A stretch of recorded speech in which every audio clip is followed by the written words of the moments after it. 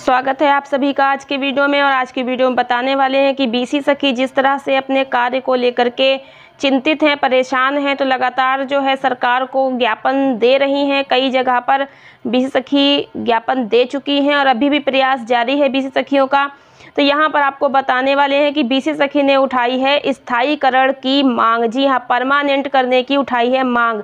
तो यहाँ पर आप सभी देख सकते हैं।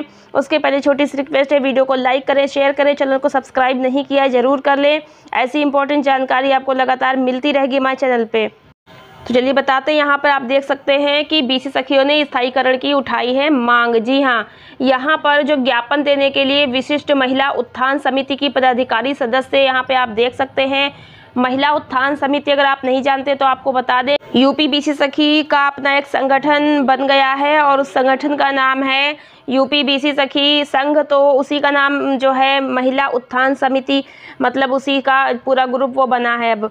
तो महिला उत्थान समिति नाम से उनका रजिस्ट्रेशन हो गया है संगठन का, और ये अब महिलाएँ जो हैं वो बीसी सखी अपनी मांगे रख रही हैं, संगठन में एकत्रित होकर के अपनी बात सरकार तक पहुँचा रही हैं। तो विशिष्ट महिला उत्थान समिति की जो पदाधिकारी हैं, यहाँ पर ज्ञापन जो है दिया हुआ है, ये हरदोई में दिया गया है। विशिष्ट कॉरस्पॉन्डेंट महिला उत्थान समिति के बैनर तले गुरुवार गुरुवार को बीसी सखियों ने बैंक कॉरस्पॉन्डेंट कलेक्ट्रेट में प्रदर्शन का स्थायीकरण की मांग उठाई। समिति की ओर से दिए गए ज्ञापन में कहा गया है कि उन लोगों को अड़तीस हज़ार के स्थान पर पचहत्तर हज़ार रुपये दिए जाएँ। अब इनको अड़तीस हज़ार मिल रहे हैं, पचहत्तर हज़ार जो है बाकी सभी बीसी सखियों को मिले हैं। क्या कुछ है? यह हरदोई की ही बात है, क्योंकि वहाँ अलग है, पता नहीं, क्योंकि डिवाइस को लेकर भी अलग अलग हैं। किसी जगह पे, किसी ब्लॉक में कितने रुपए की, किसी में कितने रुपए की अलग अलग डिवाइस भी मिली हैं। तो यहाँ पर आपको बता दें कि स्थायीकरण करने की जो मांग है, वो भी सखियों ने कहा है कि उन्हें स्थायी किया जाए। बीसी सखी को बैंक की ओर से जो मशीन दी गई है, वो भी ठीक से काम नहीं कर रही है। इसलिए वो लोग कार्य नहीं कर पा रही हैं। अब उनकी मांगे हैं कि मशीन के स्थान पर उन्हें लैपटॉप दिया जाए और साथ ही सी सेंटर की आईडी भी दी जाए ताकि उनके कार्य और आमदनी बढ़ सके। सभी बीसी सखी को एक लाख रुपए का हेल्थ बीमा होना चाहिए।